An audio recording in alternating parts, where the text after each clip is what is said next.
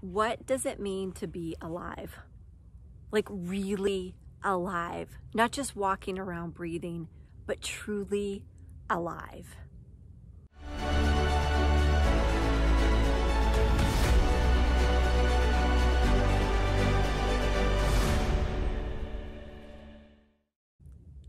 Hey, it's Rolinda. I'm back. I'm a professional artist, and today I get to give you a little tour of what it's like to be a winter bee. yes, a honeybee. And we're going to talk about four ways that you can make sure you stay alive.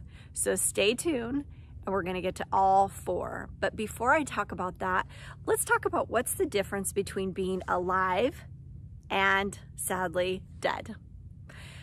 The difference is huge. Now, I'm not talking about like your physical body dying. Everybody dies, and it's super sad. And especially in a year like we've had in the past, so much loss. It's been really, really hard, and we mourn those that leave their bodies. But what I'm talking about are the walking dead and not the TV series.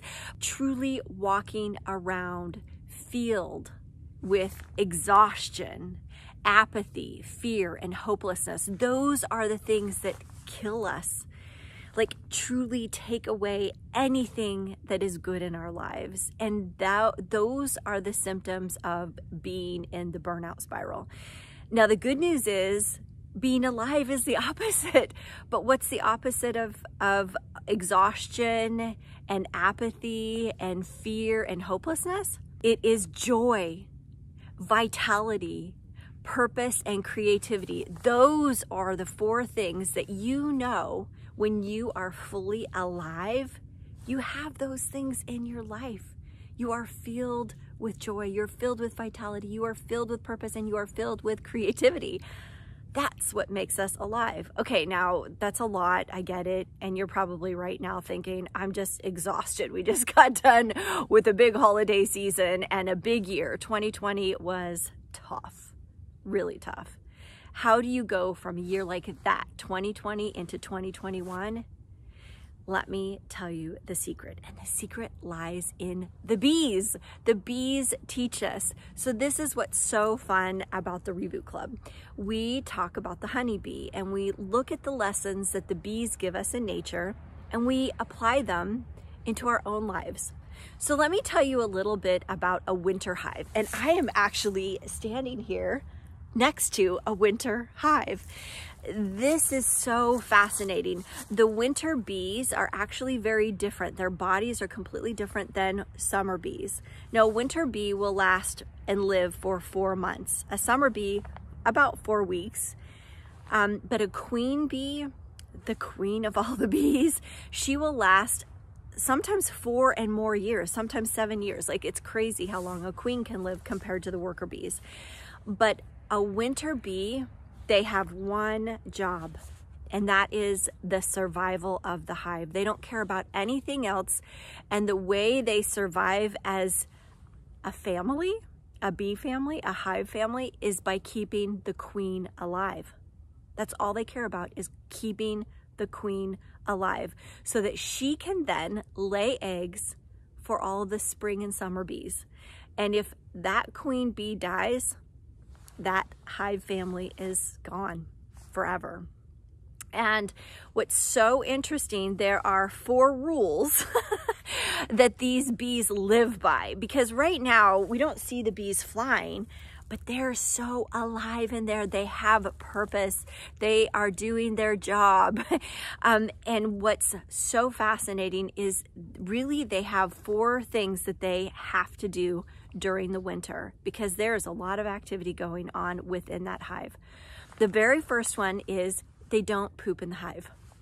Imagine that. Like, pooping is not allowed during the winter. When the hive is all sealed off, nobody poops. They wait until the spring to go out and do their business. So, one, no poop in the hive.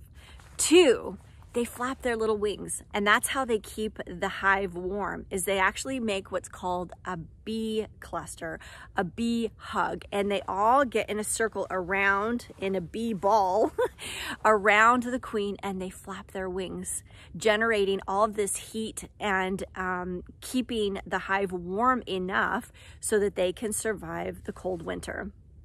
So flap their wings the very next thing that's really important is they have to stay as a team. So what's fascinating is they have the, a honey source in there and as this bee ball moves around, they have to stay as a team in order to find and move in the hive where that honey is. So they have to stay in their team, right? And then the very last one and this is, I think, the most important, is as they're all flapping their wings and it's cold outside, right? It's winter on the outside. The outside of the ball of bees, they start to get cold. So what their job is, their job is to move to the center near the queen where it's the warmest. And as they um, make their way out again to the edge of the ball and they get cold, they are to move back in to the center to get back into that warmth so that they can keep flapping their wings. Because if, guess what, if they constantly stay on the outside and don't get that support and heat from the rest of their team members, they'll die. And guess what? Each layer will die off until the queen is left alone and then she will die because there won't be heat. So you get that whole idea. Move to the center. So this is my question for you do you have a strategy on how to stay alive? Again, alive in your soul, like alive in your mind and in your heart, and not just walking around in the walking dead. So let me invite you to something really cool. It's called the Reboot Club, and we gather as a team and support each other because sometimes it gets cold on that outside and we need to move to the center. So, here is the really exciting part. What can you do right now? Even though everything else around us in the wintertime feels dormant and still and kind of like sleeping, what can you do right now to make sure that you are alive? Make sure that you are filled with joy, vitality, creativity, and purpose. What can you do right now to be alive?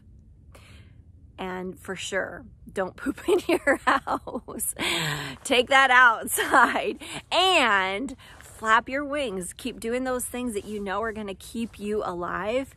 Stay with your team. Find those people that can give you support. And above all else, go to where you need to to get that support and help that you need. Move to the center. Get warmed up by your fellow flappers. So, sending you tons of love. I'm really excited about the Reboot Club this week. We're going to be talking about this, about how to stay alive in 2021. All right. See you later.